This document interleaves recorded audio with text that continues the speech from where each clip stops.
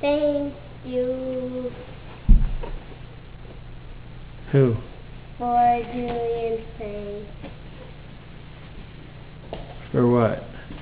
No, thank you, Julie and Frank, What is that? for, um, I don't know what it's called. Stackers? Stack up cup thing.